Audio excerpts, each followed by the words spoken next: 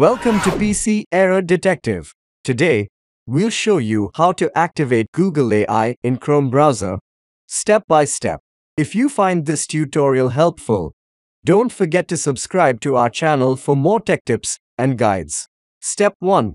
First, ensure you have Chrome open on your computer. Step 2.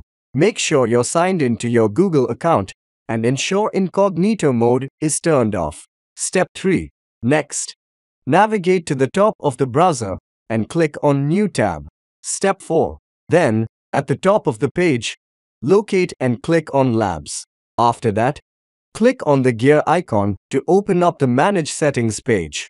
Step 5. On the Manage Settings page, find AI Overviews and more and toggle it on. And that's it. You've successfully activated Google AI in your Chrome browser. Thanks for watching and remember to subscribe for more tech guides.